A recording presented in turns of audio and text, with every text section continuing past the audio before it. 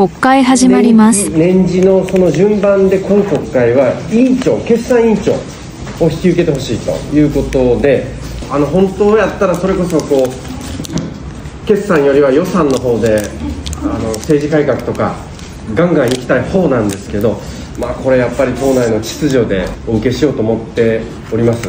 伝統的に決算委員長は野党が務めるということになっておりましてはい。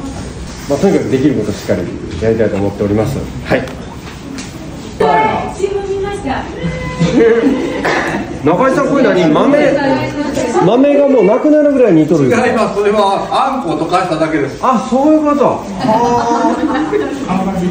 それ賢いですねあの安くついてるそうなんや、えこしあんなんだ。ー、あんこを溶かしたのうん、こしあんなのね。えー皆様こんにちは。1月26日、本日、いよいよ通常国会が開会をいたしました。えーたった今、天皇陛下をお迎えして、えーこの度は決算委員長として、えー開会式に参加をし、えー今日からのスタートに備えたところです。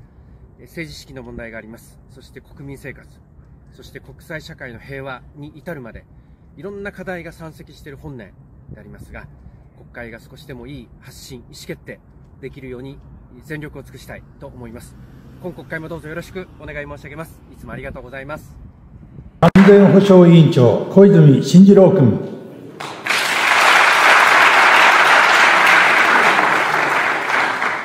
決算行政監視委員長、小川淳也君。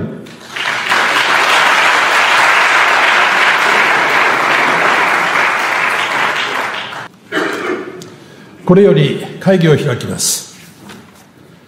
今般の能登半島を中心とする地震と、それに伴う津波によりまして、多くの尊い命が失われ、各地に甚大な被害がもたらされていることは、誠に痛恨に耐えません。犠牲となられた方々のご冥福をお祈りいたしますとともに、そのご遺族に対しまして、中心より哀悼の意を表します。また、負傷された方々、避難生活を余儀なくされている方々をはじめ、被害に遭われた方々とご親族、関係者の皆様に心からお見舞いを申し上げます。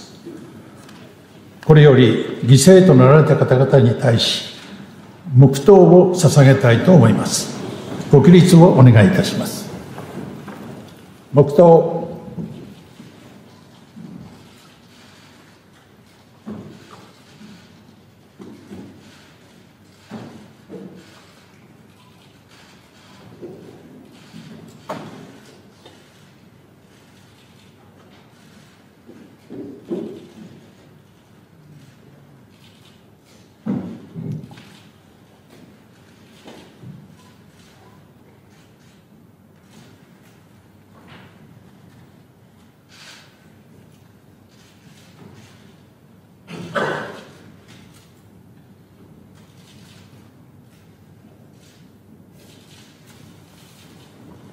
黙祷を終わります。ご着席ください。日本を良くしたい小川淳也です